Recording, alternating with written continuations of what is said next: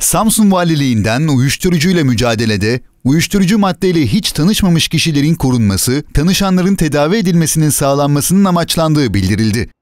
Valilikten yapılan yazılı açıklamada 26 Haziran Uluslararası Uyuşturucu Kullanımı ve Kaçakçılığı ile Mücadele Günü dolayısıyla dünya genelinde farkındalık çalışmaları yapıldığı belirtildi.